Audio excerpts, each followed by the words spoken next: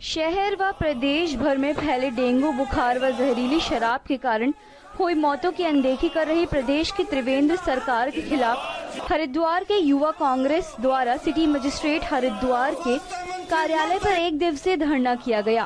पूर्व विधायक अम्बरीश कुमार, मुरली मनोहर, जिला अध्यक्ष, यूथ कांग्रेस हरिद्वार, अमरदीप रोशन, वरुण बालयान, युवा नेता सभी मौजूद थे।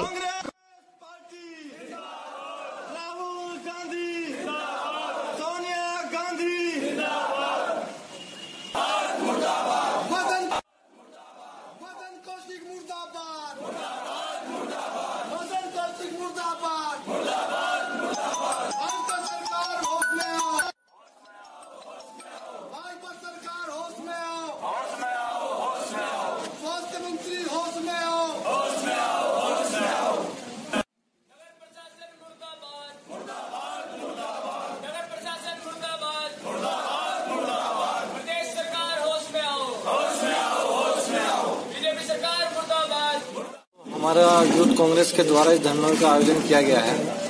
आज जिस प्रकार से पूरा शहर त्रस्त है, डेंगू की मार से आम आदमी, गरीब आदमी त्रस्त है, और जिस प्रकार से हम देख रहे हैं, पिछले चार पाँच सालों से डेंगू के कारण हमारी धर्मनगरी में लगातार मौतें होती आई हैं। उसके बाद भी लेकिन यहाँ का स्वास्थ्य विभाग, यहाँ के विधायक, यहाँ के मंत्री बिल्कुल मौन दर्शक बने हुए हैं। आम जनता जिस प्रकार से उनकी गाड़ी कमाई अस्पतालों में जा रही है, लोग बेमौत मारे जा रहे हैं, लेकिन यहाँ के स्थानीय विधायक कोई सरकार का कोई प्रतिनिधि इसकी सुध लेने को तैयार नहीं है। रोशन, जिला अध्यक्ष युवा कांग्रेस।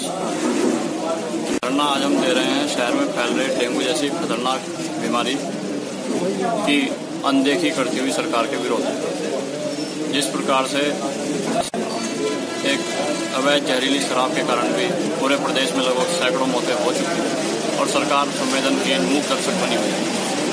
हम अपना विरोध प्रदर्शन कर रहे हैं सरकार के विरोध में। हम कहना चाहते हैं सरकार अपने शासन प्रशासन के माध्यम से इस क्षेत्र में फैल रहे डेंगू को कंट्रोल करने का प्रयास करे, शहर में जागरूकता अभियान चलाए और सरकारी अस्पतालों में ऐसी व्यवस्थाएँ प्रदान करे आम नागरिक को, जिससे कि उसकी गाड़ी कमाई का, उसकी गाड़ी कमाई पर प्राइवेट अस्पतालों के द्वारा डाका न डाला उचित समझा और बात इनकी ठीक है। ये जो डेंगू का प्रकोप हो गया, ये एक वार्षिक इवेंट हो गया एनुअल इवेंट हो गया। जैसे हरिद्वार में त्यौहार आते हैं, उत्तराखंड में त्यौहार आते हैं, ऐसे ही ये डेंगू का भी एक पर्व हो गया, हर साल आना ही है। और सरकार को उसमें कुछ करना नहीं मैं सरकार से पूछना चाहता हूँ, आखिर दिल्ली में 80 प्रतिशत डेंगू का प्रभाव कम क्यों हुआ? ये अखबारों में जारी करते हैं पैम्पलेट जारी करते हैं, सावधानियों का लेकिन क्या कोई जो संबंधित विभाग है, वो जनता में जाकर इसका प्रचार प्रसार करते हैं, जिससे गरीब लोग बच सके और उनको इसका कष्ट न झेलना पड़े?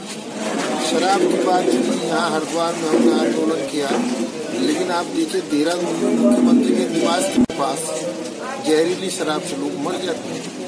तो आखिर ये हरिद्वार हो चाहे उत्तराखंड, ये ठीक बात लोग उठा रहे हैं कि उत्तराखंड को तो मद्य निषेध क्षेत्र होना ही चाहिए।